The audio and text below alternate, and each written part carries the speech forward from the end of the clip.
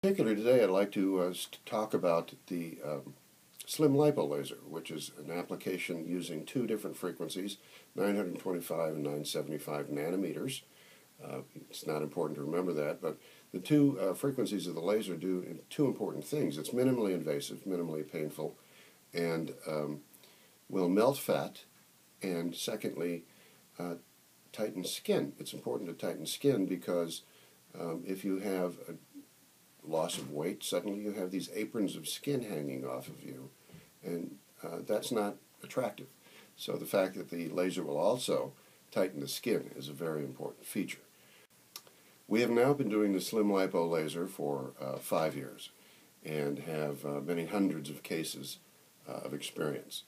And uh, I can uh, say that I firmly believe in this technique. It is really the next generation of laser application and uh, has uh, very, very good results.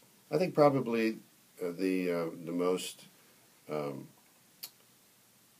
requested area of the body is the tummy, the uh, pooch, as a lot of people call it. Uh, women, especially after pregnancy, have the pooch that bothers them, and um, and that's just the abdominal pouch that really is troublesome sometimes to get rid of. But uh, it also can be applied to the waistline, to the love handle area, to the uh, bra rolls that occur behind uh, on the back, uh, underneath the bra.